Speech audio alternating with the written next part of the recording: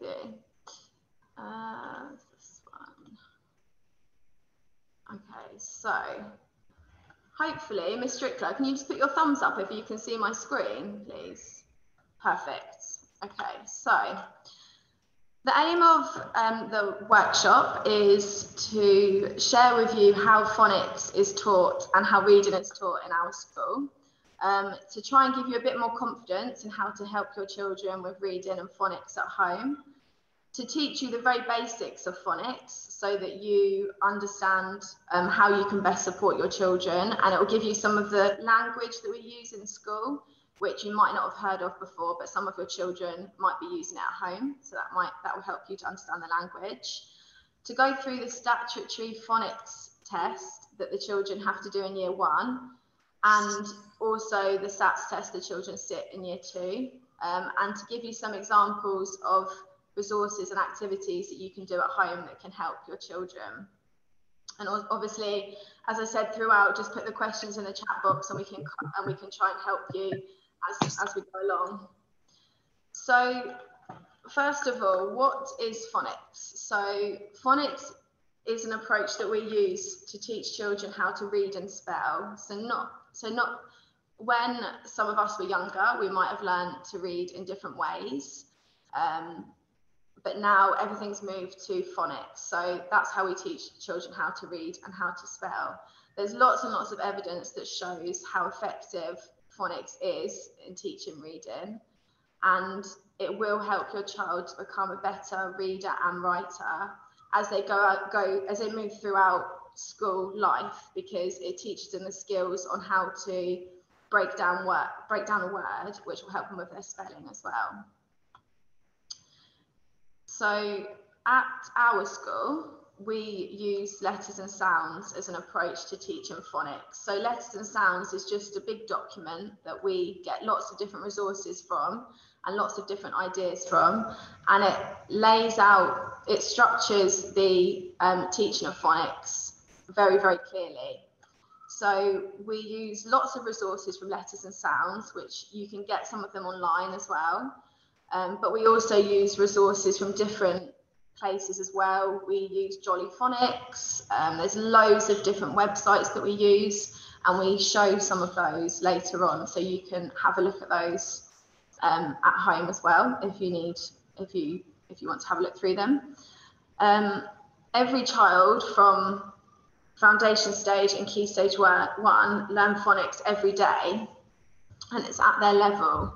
So we assess the children really regularly with their phonics. So we know exactly where they are, which sounds they need to work on, and the children, so the children are learning the sounds that they need to know. Um, it's a very fast paced approach. So you cover lots and lots of different sounds. Um, and then we, the, we re revisit the sounds as well um, once they've all been covered. Um, letters and sounds includes lots of different games as well um, which we've got, we, they're all on our website. So if you need to have any ideas, you can have a look on the website, but it's loads and loads of different activities and games. And there are six phases in letters and sounds, which I'm going to show you um, in a second and talk you through. So something you'll probably find quite useful, um, and again, this PowerPoint will be on the website. So don't worry about kind of remembering it all now. Um, but these are the terms that we use really, really frequently in school. And we might also make comments in our reading records. So we might say, um, your child is struggling with this digraph, or your child is struggling to segment and blend. So if we use those kinds of that kind of terminology, this should kind of help you to understand um, what that means. So the phoneme is the top term, and that's the smallest unit of sound that's found within a word. So it's the sound that you hear. For example, in bed, you've got but. That's three phonemes. It's three sounds. In fish, you've got f, i, sh, which is three phonemes. So it's the smallest unit of sound. And I'll show you a bit more about that as we go on. The grapheme is the spelling of the sound. So it's what you would see on paper. So for example, the sound is written as a TH. The sh phoneme or sound is written as an SH grapheme. So the grapheme is what it looks like how it's written. Um, a digraph are two letters that make one sound when you read them. For example, sh, and ng, they are digraphs. A trigraph is three letters that make a sound. And a split digraph um, is when a digraph is split by consonant. That's when it becomes a split digraph. For example, the AE split in the word uh, made, or the EE split digraph in the word these. So that's what a split digraph is. And then you've got your CVC and your CVCC words, which just stand for consonant, vowel, consonant, or consonant, vowel, consonant, consonant. And there's some examples down the side. Tricky words, you might also hear them being called common exception words. So at the start of the year, we send home a list of words, and at parents' evening, we sent home a list of words. And those words are the common exception words or the tricky words. So they're words that don't follow the this you can't sound them out phonetically. They you just have to learn them. They're tricky words to learn. So they don't follow the um, phonic rules. Um, and then the final one is segmenting and blending. So we say this all the time in school. Um, sometimes you might hear segmenting being called sounding out. So segmenting is saying each sound, and the blending is when you put all of those sounds together. And we use something called sound buttons in school. And sound buttons are these lines and dots that are underneath the words that you can see on the screen. So this is an approach that comes from letters and sounds, but we use it all the time and it really helps the children to be able to see the sounds in the words. Um, and it also helps you to understand if they can recognize the sounds in words as well. So for example, the word chat obviously is an alien word. It's not, it's not a real word. Um, but that's got the ch digraph at the beginning, which we would underline. And then it's got at, so two sounds at the end, which you would just put the button on. Or cat is k at, so you would put the three dots underneath each sound. And obviously chicken, you can see has the digraph and then the, the second k digraph in the middle. So that's how we represent the different sounds.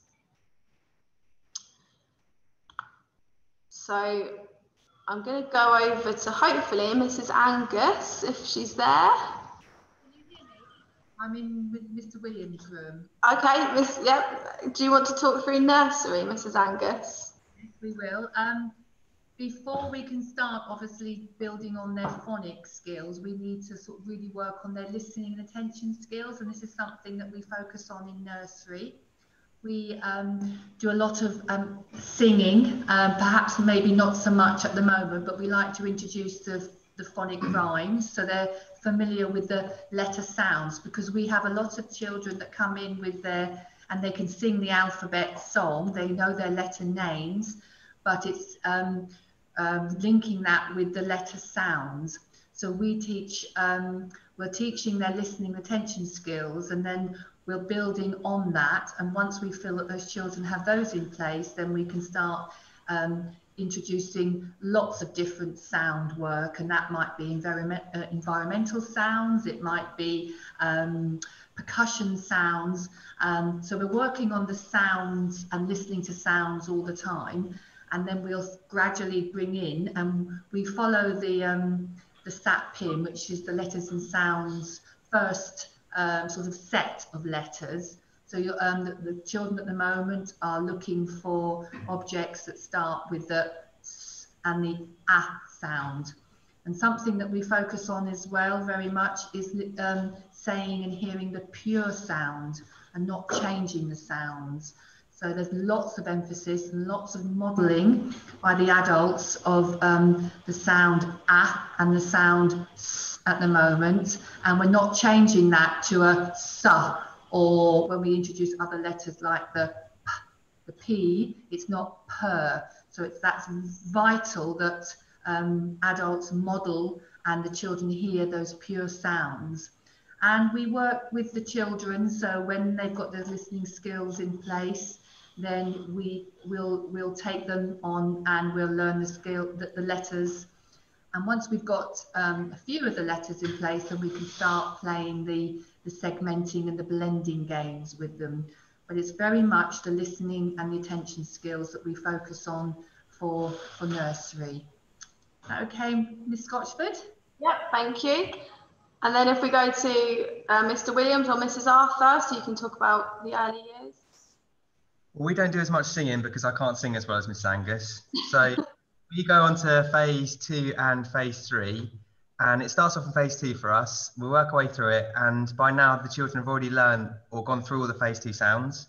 So we think um, our expectation is by about Christmas, the children should know their phase two sounds. And then by the end of the year, so the end of reception, they should know the phase two and the phase three sounds. And that would be them being on track. And then we try to, throughout the course of the year, make sure they do a lot of blending of those sounds to make sure they come up with words, CVC words, etc. from that. Is that okay, Miss Scotchford? Yeah, thank you. Marvellous job.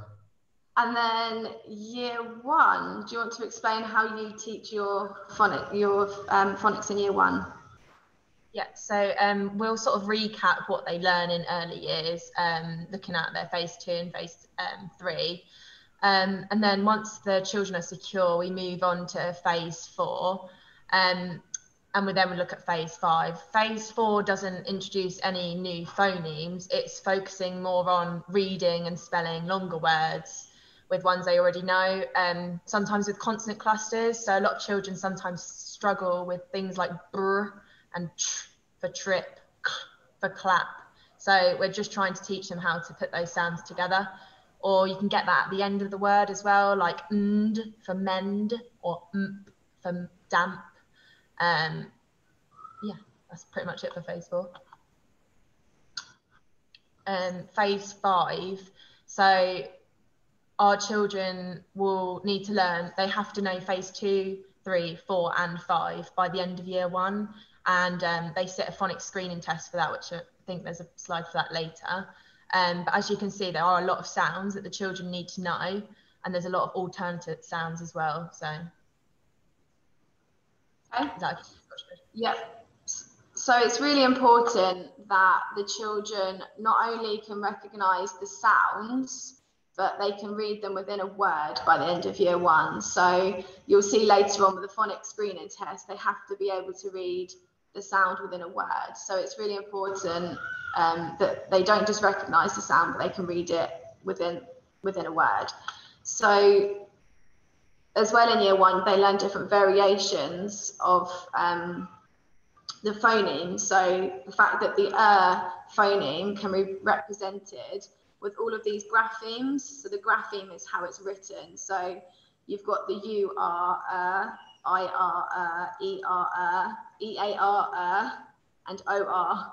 So there's lots and lots and lots that the children uh, are learning, um, and which is why we revisit it throughout the whole of um, Key Stage 1. We revisit lots of this in Year 2 as well. Um, and as the children move to Year 2, the spelling has to become more accurate. So they have to be able to recognise the correct grapheme and use the correct grapheme when they're writing. There's lots for them to kind of take on. So like Mrs. Angus said, um, it's really important that you don't say the letter name, you're saying the sound. So it's not the L sound, it's U. So you're saying the sound and not the um, letter name. So there was a video on here which hasn't uploaded. So if I, yeah, I'm just going to stop sharing my screen. Yeah. Copy and paste. Okay. Into a new. You got it there? Yeah. and then share it and pick the rates. Okay. Right, let me just go back onto Zoom. Um, I think it's this one. And don't forget to share sound. Little box at the bottom left. Okay, yeah, thank you. Okay, so hopefully you can see what's on my screen. Miss Strickler, can you see that? Yeah, okay. This just shows you an articulation of the phonemes that we've just spoke about. E. I. O. A. A. E. I. O. U. U. Ow.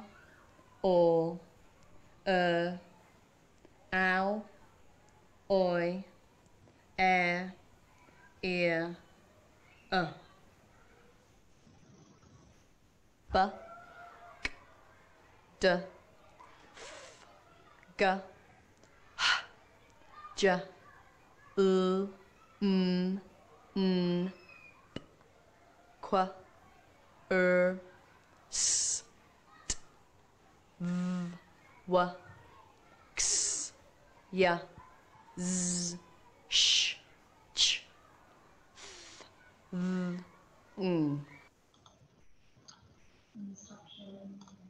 Okay, so that's kind of useful so you can see the the shape, what her mouth is doing. Because when we teach phonics, we try and make sure all the children can see our mouths when we're teaching, so they can see what our tongue's doing, what shape our mouth is making, and that really helps them to um, learn how to articulate the sound properly.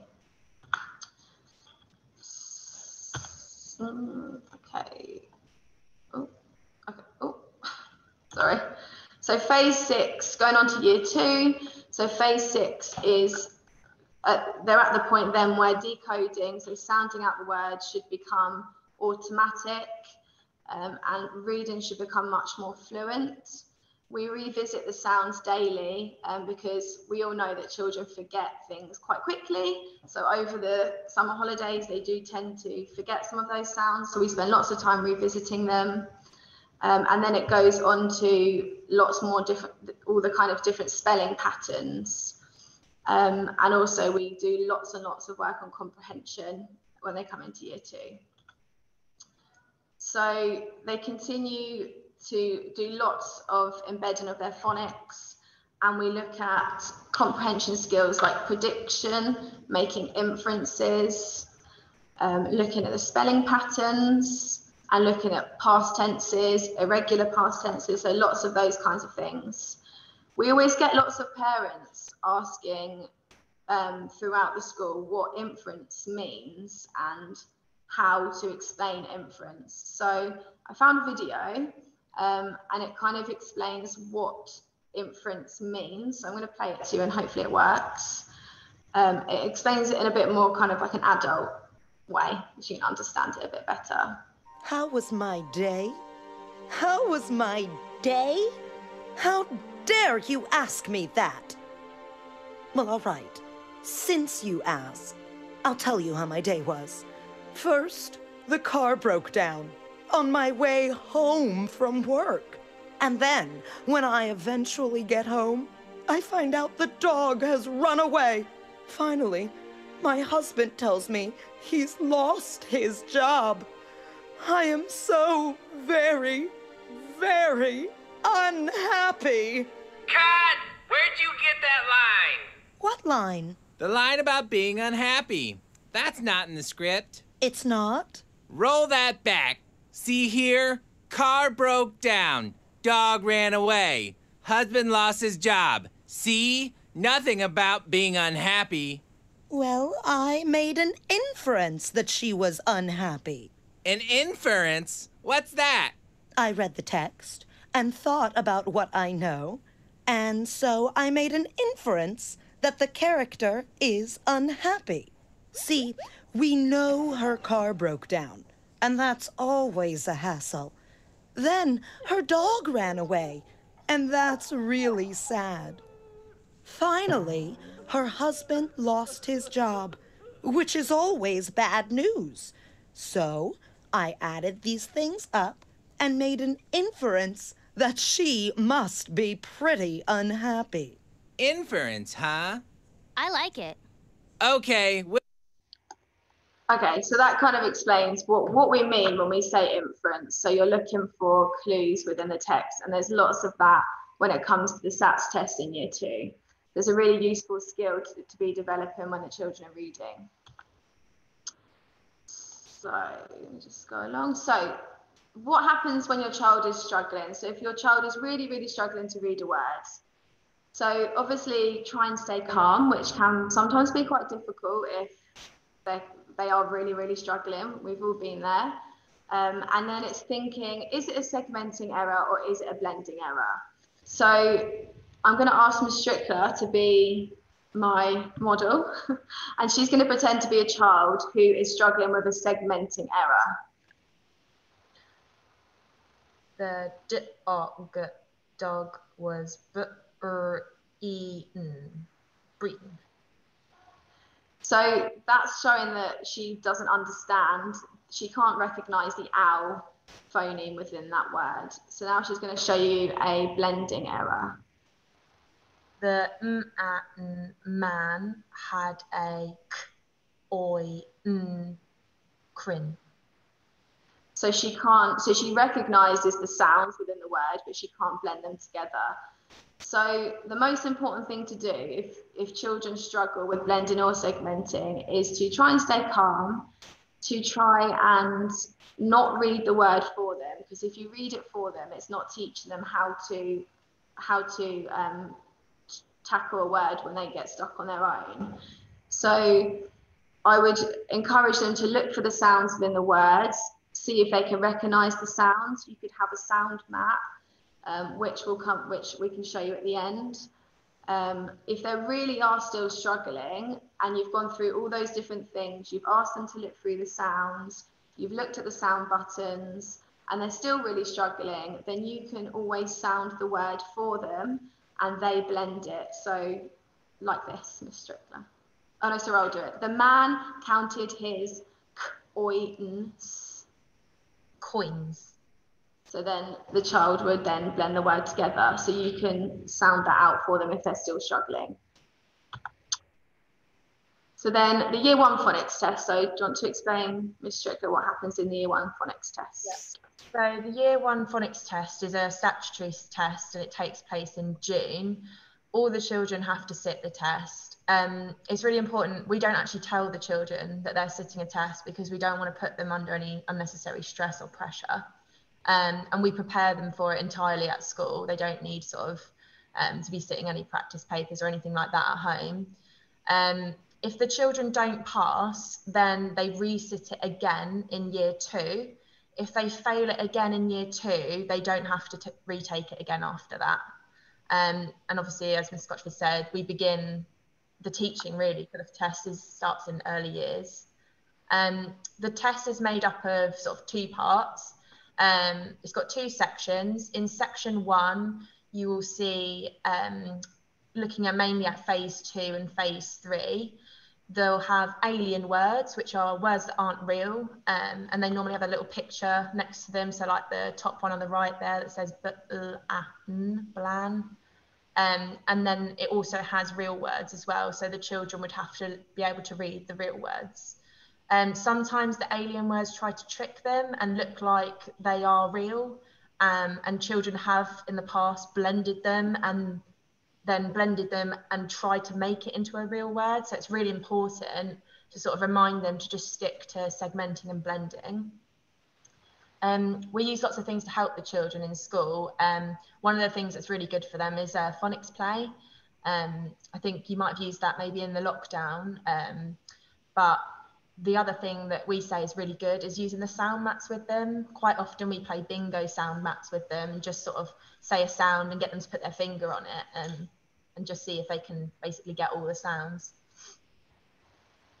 Is that all right, Ms. Scotchford? Yep. So yeah, so it's it's re- it's making sure that again the children are getting used to segmenting and blending words that they are unfamiliar with. So the point of the alien words are that the children don't recognise them. So it's actually assessing whether they can segment and blend accurately. because they're not real words, they've never seen them before. So this video, I'm just going to show you a, a snippet of it. It's on YouTube and it's um, a Department of Education created to show you how to do the phonics test. So it just kind of explains, it shows you really what it will look like when the children um, do the test. So it's all verbal. Um, I'm just going to fast forward it. Yeah, eh, yeah, d, yed.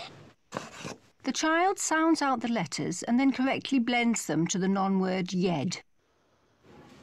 Yeah, aid, yed. She uses the wrong sound value for the vowel letter. Yed. Children do not have to sound out the letters before saying the word or non-word. Imp. Imp. There is a pause between each letter being sounded out, and therefore the non-word has not been blended sufficiently. Empt.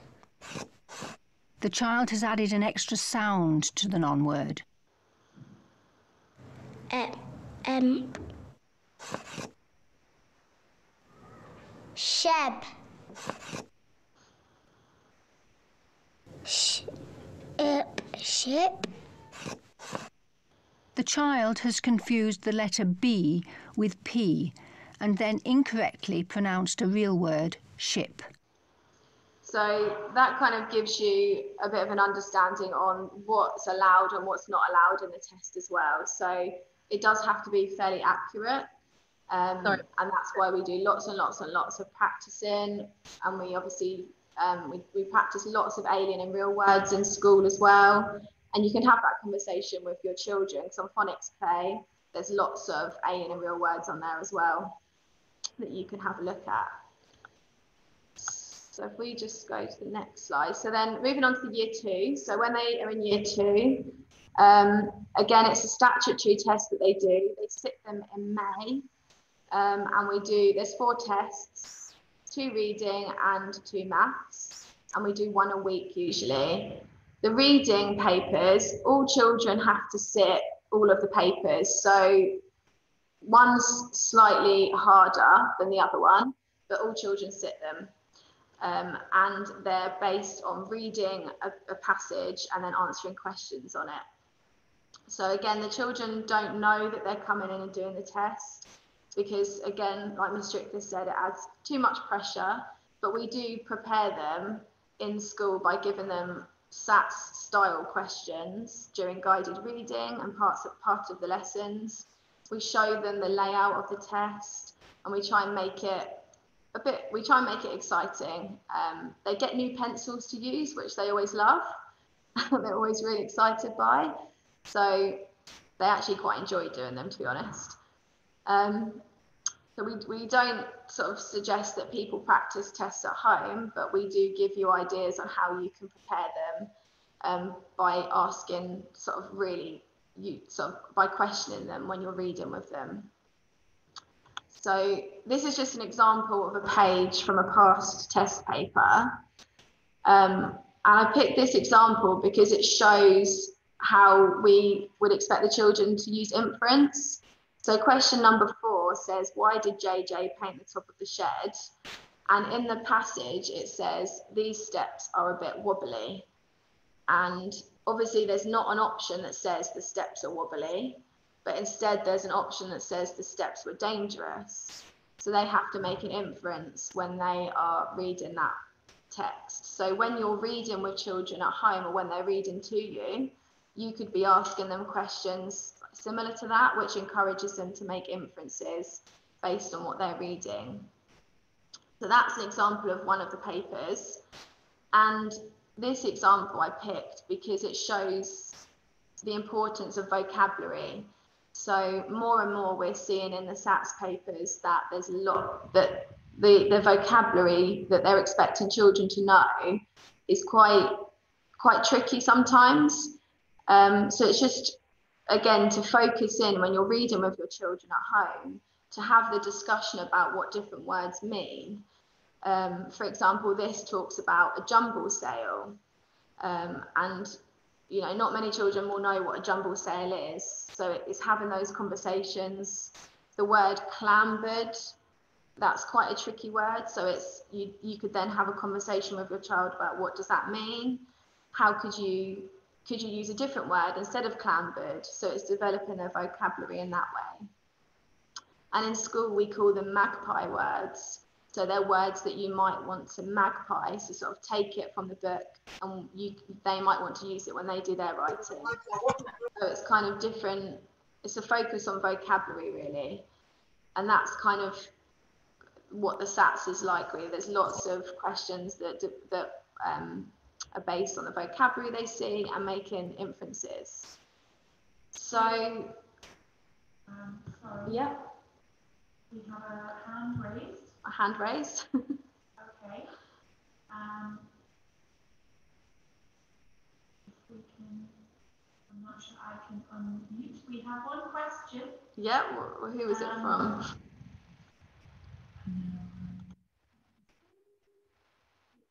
From mm, F. Could you unmute yourself? I'm The- not able to unmute. Could you unmute yourself? Person who has raised their hand, who has a question.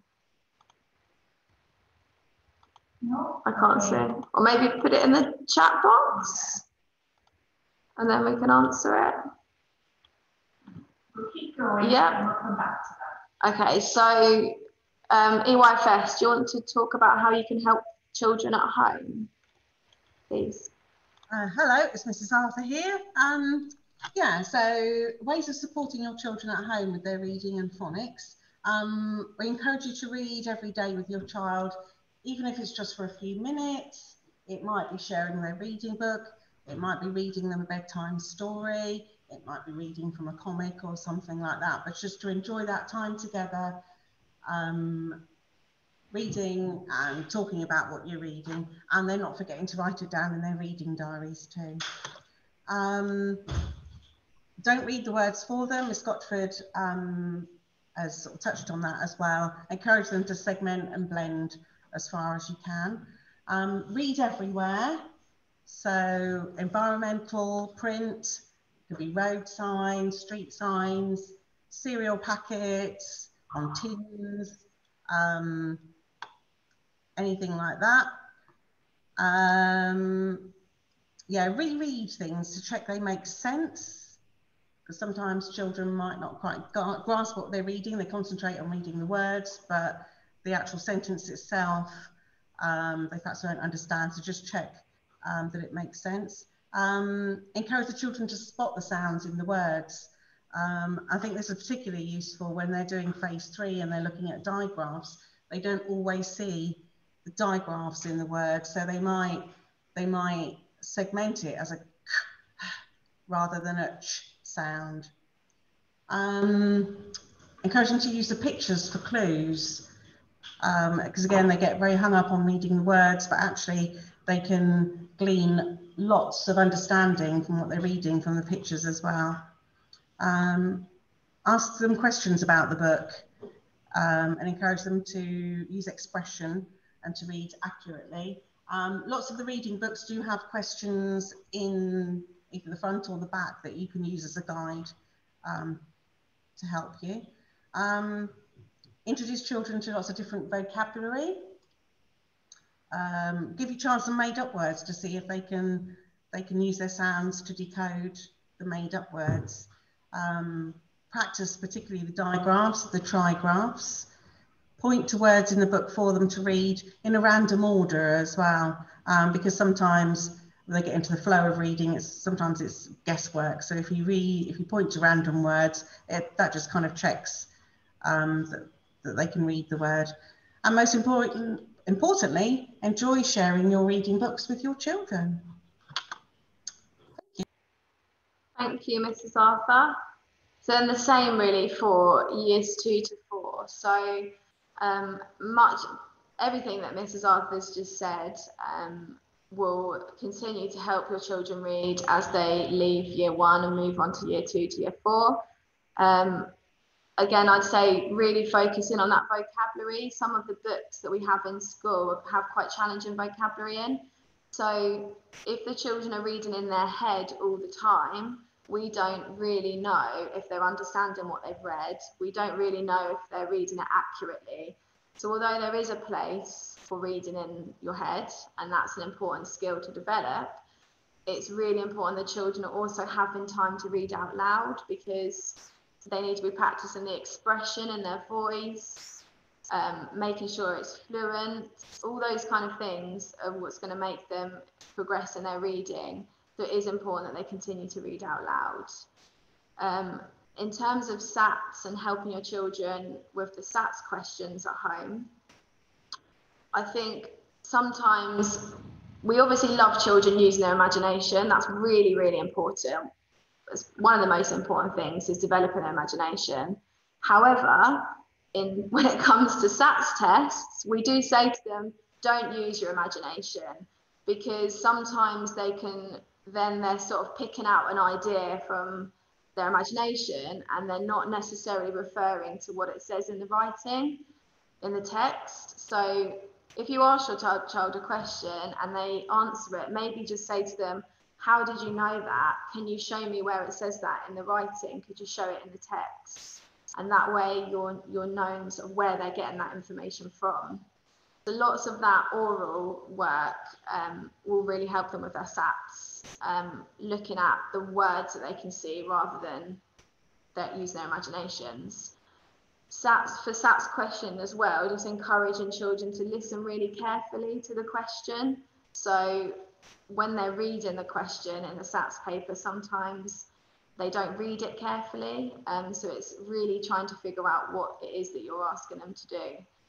Um, and again, with the, the, the phonics screening test, regular reading with the ch children is what's going to help them best. So reading every single day, giving them lots and lots of words to, to segment and blend.